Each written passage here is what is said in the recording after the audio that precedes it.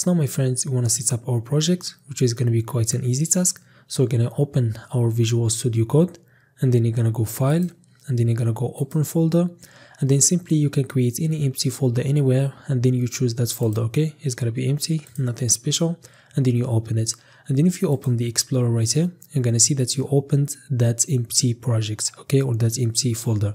And right here we can have our you know set up on our organization for our folders okay? And files so first of all we're to start by index.html okay? That's the first file. You can use this exclamation mark okay? And then the Emmet is going to give you this uh, tab and you're going to click enter and this is going to generate an index.html file for you okay? So this is like a boilerplate for the html files. Then we're going to create a new folder. This is going to be called assets. And this is going to have all the folders that we're going to need okay? So inside this we're going to have a folder for our size and then inside the assets themselves we're going to have a folder for the javascript okay? And then we can have another one that's gonna be for like example our images. Also we can have our icons and then we can also have our fonts. Okay like that. The last folder will be the shaders folder. Okay so now we have all our folders ready.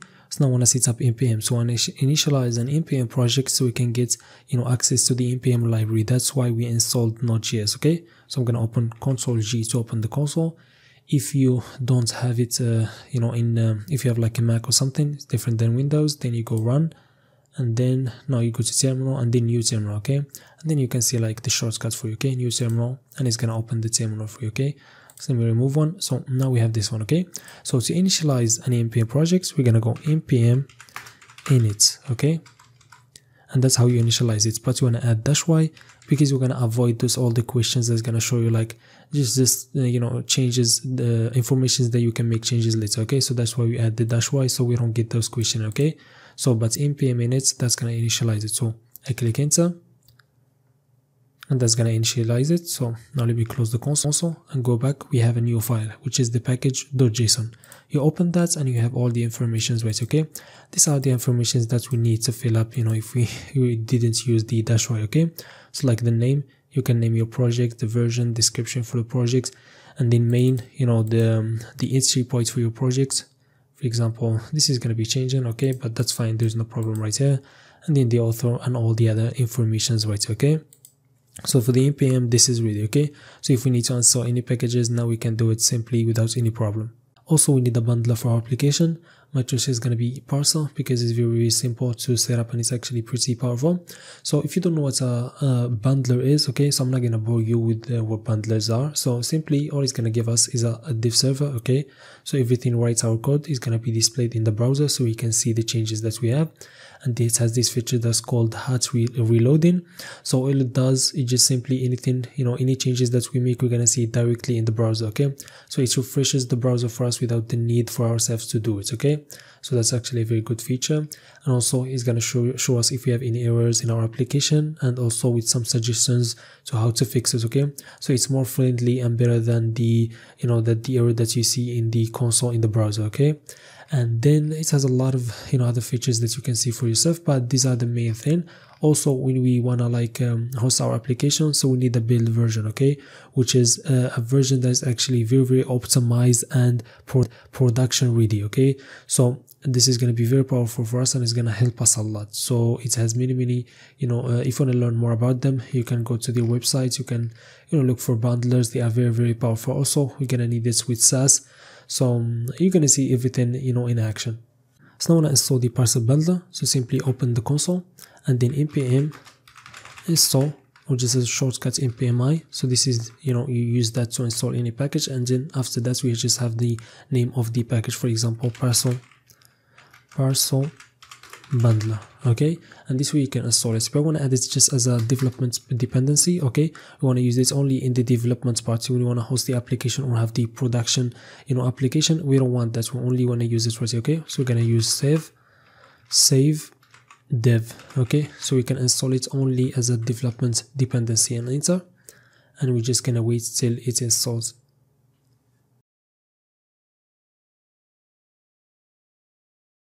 so now as it's done we can you know run our application directly from here okay? So we can use clear so we can clear the console and then simply we can use parcel and then we're going to use the entry point which is going to be our file index.html okay?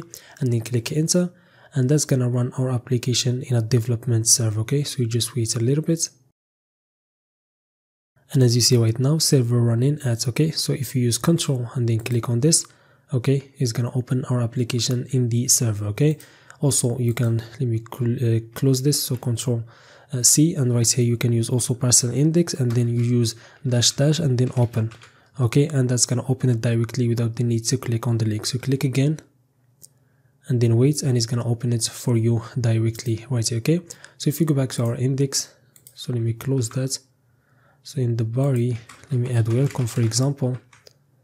And now if we go uh, back right here okay let me refresh this and as you see right here we have welcome okay? So that's the first thing. Now we don't want all the time to go in the console and write like the parcel and then in index.html or the dash dash open. So it's kind of long okay? So there's a shortcut for that. So we can let me close this right here and then close the console. Go back to the package.json right here we have this close that we have this script right here okay? And right here we can have our scripts okay? So simply uh, we can name it right here anything. For example dev that means we are running our development server. And the code that we used to run in the console which was parcel and then index.html and then dash dash open we can now have it as a, uh, as a script. So simply now if i open the console again i'm not gonna write all of that but simply i'm just gonna go npm run so this is how you run a script and then dev and that's gonna translate to parcel index.html dash dash open okay? So now i click again. And as you see this is the code that it's gonna run and it's gonna open it right here in the browser okay? So this is like a cooler way to do it and a very you know easy way okay? We're gonna have another script. So let me add the dash right here okay? Not dash a comma. So right here we're gonna have another one which is gonna be build. Okay we're gonna make few changes for now but this is what's gonna be. This is gonna be build so this is gonna give us the version the build version that we can use to host. So let me remove this from here. So this is how to be. If we wanna run that we can just simply run npm run build okay? And it's gonna run this code. And all it does is gonna give us this folder right here this with all the files that we need okay? So right now we only have the uh, index.html but we can have like styles and also other files like for the javascript etc also i want to make a few changes to the layout that we had. So let me close everything so i'm gonna create a new folder. I'm gonna call it src which is source and then I'm gonna put the index and also the assets inside this okay? Like that. So I'm gonna move everything right here. So now this is a better setup okay? Have the files for the parcel. and also close this and we have the source which has the assets and also the index.html okay? So now we can't run the code from the index directly we need to go to the source folder and then the index.html okay? So it is source and then the index.html so now if I open the console again let me close that again and then run that again. So uh, npm run dev and then enter. And this is gonna do the same thing okay? And now it's opened right here and we can see it in the browser now one of the coolest features of the parcel bundler it has the ability to turn our Sass files okay into css automatically without the need to have a compiler okay? So if you go back to assets and then styles and then we create a new file for example base.scss okay which is a Sass file. It's simply if you don't know what Sass is it's simply css but it's a bit more powerful. It's still the same code you know it, it just have few additional things to it okay? So for example if we enter right here and then the body and then the background red and then we go back to the right here to the index and then import it. So from assets and then from styles and then base.scss so this is a Sass file. So before you know having parcel you need like to have a compiler like as you see watch Sass right here. This is a compiler for Sass which we use to click and then it trans uh, you know it transform all the uh, Sass files to css but with parcel you don't need to do that. You simply go back to the browser refresh and it's working without even the need to do anything. You just add it you know the Sass file it works which is actually pretty amazing you know with the you know parcel okay? So there's another cool things about parcel which we don't need actually to add all the files right here okay? We can just remove that like that and now that's gonna remove like the size that we had. So we can do it another way. So we can go back to the assets and then the javascript file. We can add a new file. Let's call it for example config.js and then right here i'm going to import. So i'm going to go up and then go to the styles and then the base.scss and then save. So let me close that. So now if you go back to the index right here i need I, I can add it like for example in the header. I'm just gonna add the script tag which is gonna simply the source of it is gonna be the uh, file that we just created which is in the js config.js okay and then save. So all it does it just import the styles right here. And now if you go back right here and then you're gonna see that it works. So without even the need to import it directly right here. So now if we have any other styles we can simply go right here and then import them here like all of them. And then simply we're gonna find them uh, added to the uh, html file without the need to have like so many styles right here okay? Which gets annoying after a while so we can call this like styles.js or config.js whatever you want. I'm gonna call it config.js so i don't know we, we may change that later. So everything that we need we can just add this right here. So like the import for the size import for our js file this is actually pretty pretty cool. And this is actually a good way to work with parcel. So now if you go back to the this folder right here you see this is all the files.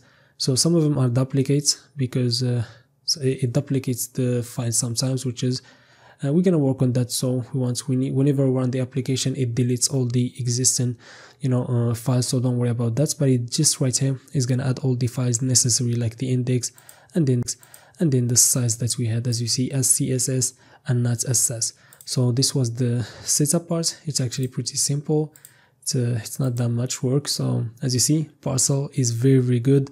And now everything is configured for us so we can start work in a very very professional you know solid uh, server not server solid you know application base for our projects okay? So see you next